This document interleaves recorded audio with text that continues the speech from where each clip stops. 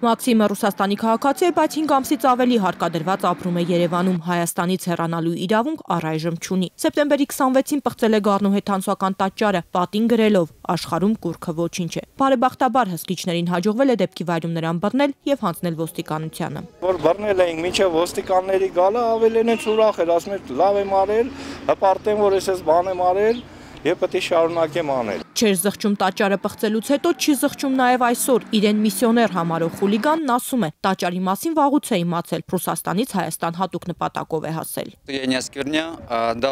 Ես չեմ պղծել։ Պարզապես իմ արարքով փորձել եմ մարդկանց հասկացնել, որ չի կարելի հեթանոսությունից մնացած քարե շինությունները կուրքի վերածել։ Ոչ քրիստոնեական հուշարձանները պետք է ավերել, ոչնչացնել, ոչ թե պաշտամունքի առարկա դարձնել։ Վանդալը հենց այդպես էլ վարվում է, անամոթաբար հայտարարում է, որ Ռուսաստանի, Ուկրաինայի տարածքում շատ հուշարձաններ ու ոչ քրիստոնեական շինություններ է ոչնչացրել, չի թաքցնում, հետագայում էլ նույն կերպ է վարվելու։ Ես որպես միսիոներ, որպես քրիստոնյա իմ պարտականությունն եմ համարում աթեիստներին, հեթանոսներին, բուդդայականներին եւ այլ հավատքի ներկայացուցիչներին բացատրել, որ պետք է իրական հավատքի գալ։ Դա իմ առաքելությունն է։ Գառնու տաճարից գրությունը մաքրելու համար որմնանկարներ վերականգնողներից 4 օր է պահանջվել, ծախսվել է 840 հազար դրամ։ Գառնի պատմամշակութային արգելոց թանգարանի մասնաճյուղը վանդալից հենց այդքան գումար է պահանջում։ Ուրիշ բան չենք մեր հայցադիմում դա եղել միայն ծախսերի գոնե փոխհատուցում։ Մաքսիմ Նիկիտենկոյի դեմ գործ է հարուցվել Կոտայքի մարզի ընդհանուր իրավասության դատարանում այսօր նիստը կրկին հետաձգվեց։ Ամբաստանյալի շահերի պաշտպանը չէր ներկայացել։ Հայաստանի օրենսդրությունը վանդալիզմի համար քրեական պատիժ չի նախատեսում։ Մաքսիմը միայն ֆինանսական վնաս կկրի, ասում է, պատրաստ է վճարել։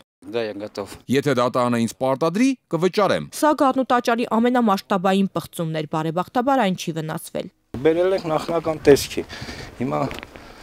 շատ ուշադիր պետք է նայենք, որ մի փոքր երևա, դա էլ ժամանակի ընթացքում կգնա։ Ազնիվ Կարապետյան, Նարեկ Եղիազարյան, Արտյոմ Պողոսյան, այսօր